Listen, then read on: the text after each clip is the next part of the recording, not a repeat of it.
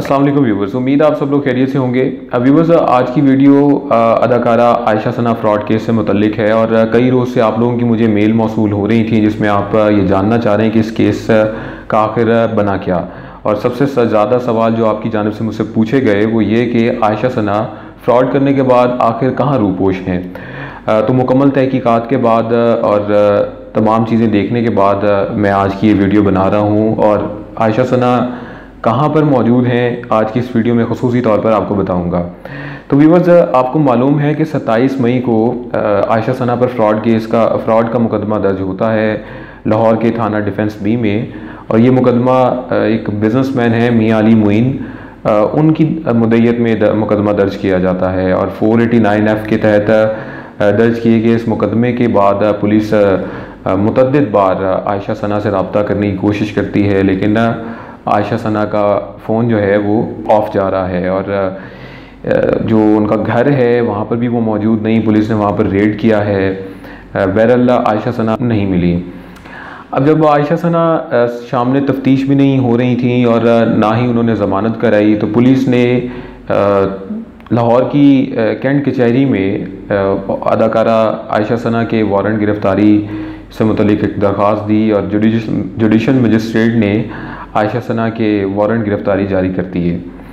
अब वारंट गिरफ़्तारी भी जारी हो गए और इस वारंट गिरफ़्तारी जारी होने के बाद पुलिस ने अपनी तफ्तीश का अमल तेज़ किया और आयशा सना के घर और दीगर मकाम पर जो है, जहाँ पर वो इतला थी कि वहाँ पर मौजूद हैं मुतद बार रेड किया गया, लेकिन पुलिस उनको तलाश करने में नाकाम रही। बहरहाल तकरीबन छः करोड़ रुपए का फ्रॉड करके आयशा सना फ़रार हैं मुबैना तौर पर।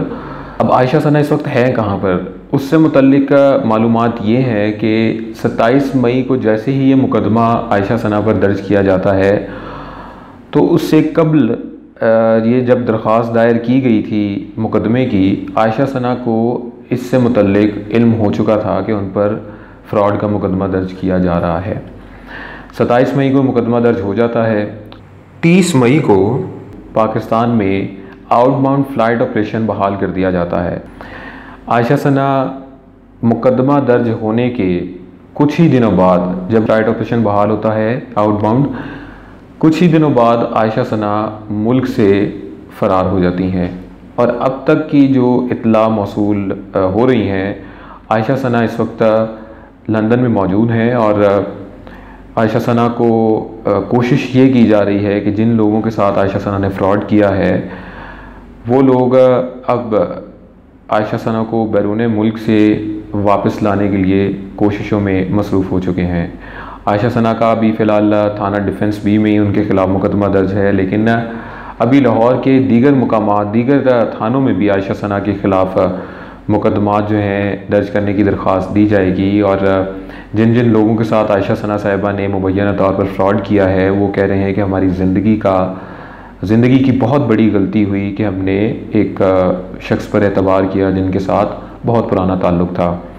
तो आज की वीडियो के ज़रिए आपको ये भी इतला देना चाहता हूँ कि मुस्तबिल में, बहुत जल्द मैं आप तक आयशा सना केस से मुतल बड़ी अहम मालूम आपके साथ शेयर करूँगा।